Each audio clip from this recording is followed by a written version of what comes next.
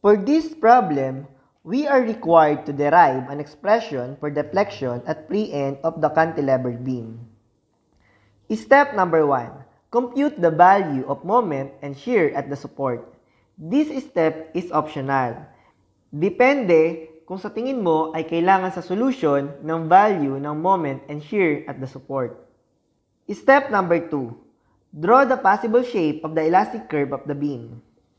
Para sa cantilever beam, alam natin na kapag nag-drawing tayo ng tangent line sa elastic curve sa point A, ay 0 yung value ng slope ng tangent line and maximum deflection at pre-end or sa point B.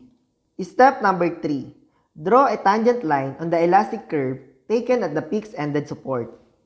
Katulad ng sinabi ko kanina, 0 yung value ng slope ng tangent line sa elastic curve sa point A, thus this tangent line is horizontal. This distance is the value of the maximum deflection, which is also equal to the value of the deviation of point B relative to a tangent line drawn to the elastic curve at point A. Step number 4. Construct the moment diagram by parts. Sa point A tayo kumuha ng axis at doon natin i-moment lahat ng load ng beam. Kapag sa point A tayo nag-moment, ang may value lang ng moment ay yung uniformly distributed load. Kapag iminoment natin yung uniformly distributed load W sa point A, equal yon sa W times L multiplied by L over 2, which is equal to WL squared over 2. Yung curve ng uniformly distributed load sa moment diagram ay second degree. Step number 5. Compute the value of deviation of point B relative to a tangent drawn to the elastic curve at point A.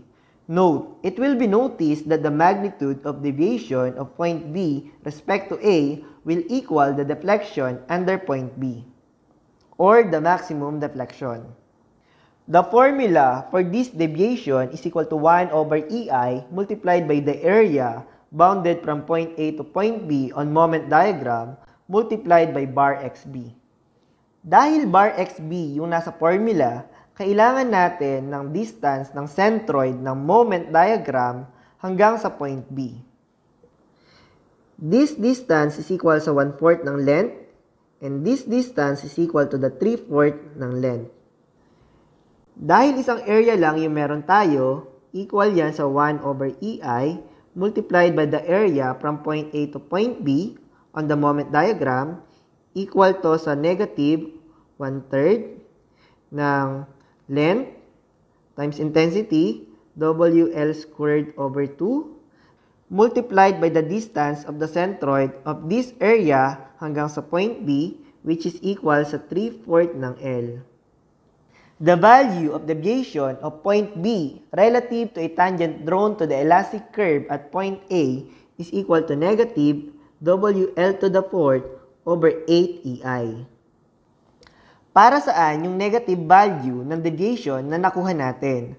Ang ibig sabihin lang nun, yung elastic curve ay nasa ilalim ng tangent line. Thus, tama yung figure na ginawa natin. The value of this deviation is equal to the value of y max or y at the free end. Pwede nating i-rewrite yung value ng deviation as equal to the deflection at free end which is equal to WL to the fourth over 8EI. Hindi na natin isinama yung negative sign kasi yung value lang yung kailangan natin at gamit yung sign sa deviation na prove natin na downward yung deflection sa end.